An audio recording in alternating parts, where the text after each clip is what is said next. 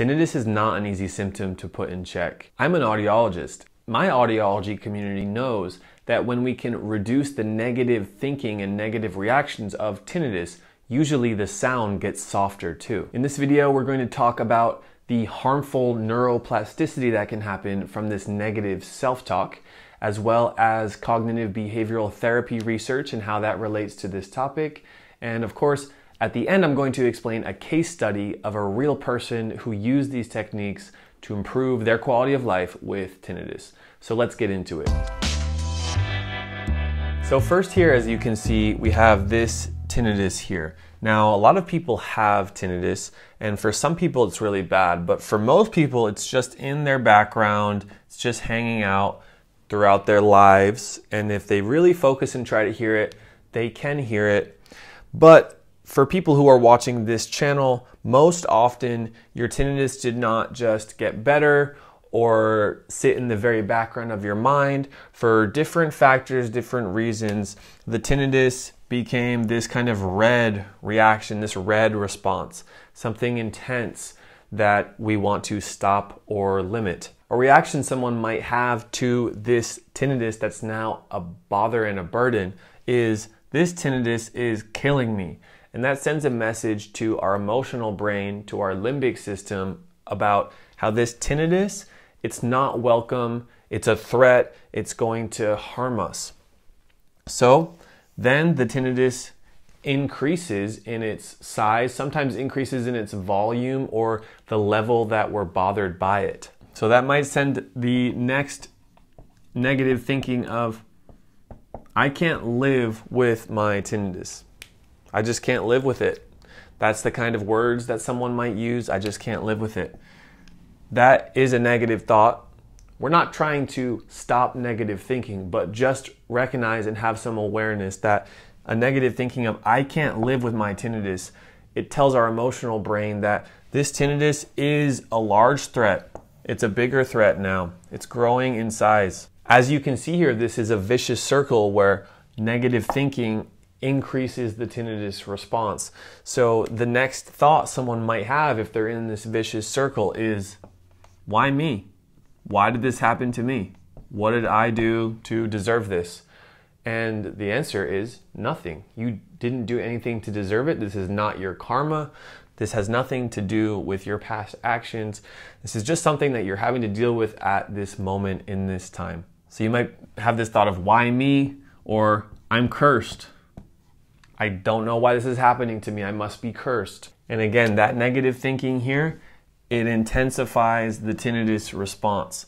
So we have these we have these different levels of the tinnitus intensity over time getting louder and it's correlated to some degree it can be correlated with this negative thinking and the different series of progressive negative thinking that comes with it. I know this is not easy for me to say and if you're going through this it's not going to be a snap of the fingers to get out of it.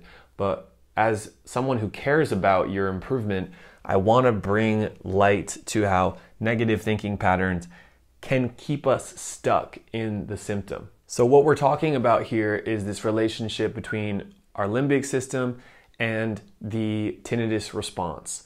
The protocols that focus on helping individuals with tinnitus they understand the psychological component to the condition is key. It affects our body's reaction of being tense and tight.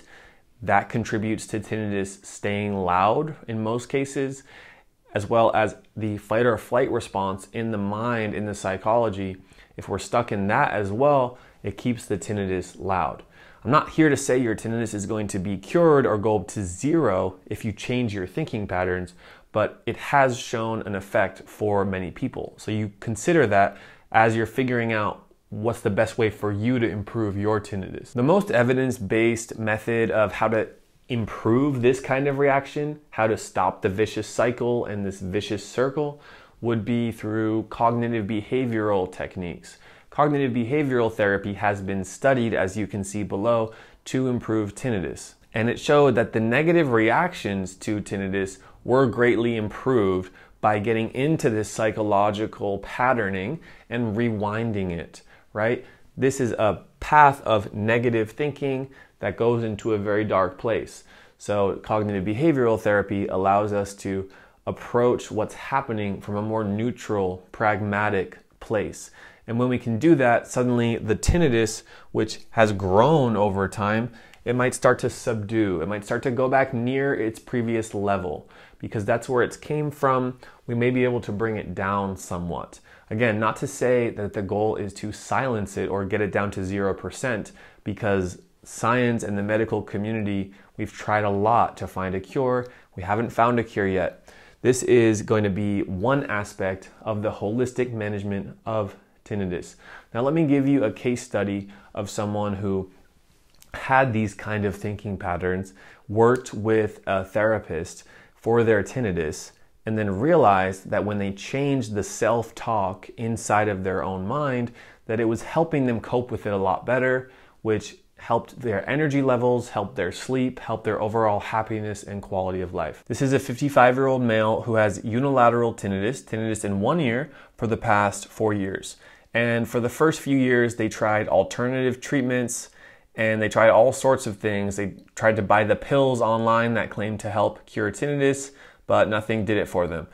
Eventually, they worked with a therapist, a psychologist who helped them a lot, and they changed their thinking patterns in the following ways. First, instead of saying, I'm fighting the tinnitus, I'm fighting it, change that to a more neutral place as I'm doing my best right now with all of the energy I have, all of the resources I have. I'm doing the best I can, and I'm proud of that. The second kind of thinking pattern is instead of saying, I can't live with this, internally reminding ourselves, I am strong because I am living through this.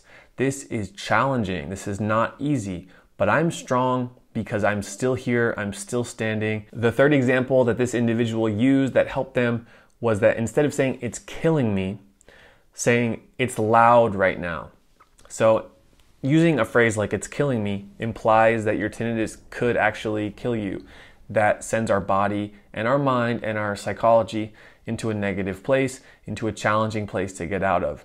Using more neutral or realistic or pragmatic self talk is it's loud right now. My tinnitus is very loud right now. And it's challenging me, but I'm able to still live. I'm able to still breathe, and I know that this will pass as well. I hope you enjoyed this video and hope you understood something about the vicious cycle of negative thinking and tinnitus. My intention here is to bring light to the reality that most of us get caught in negative thinking patterns and negative thinking loops. That can be a vicious circle, and due to the nature of tinnitus, the tinnitus can actually get louder when we're in this kind of cycle. So if you learned something from this video or if you can relate, please comment below and I will individually respond to you. Thank you so much. Subscribe to this channel if you are not already subscribed. And on this next video on my side, I recommend you watch this video called What is Tinnitus Therapy? For someone who hasn't been in tinnitus therapy, you might have some questions about what really goes on.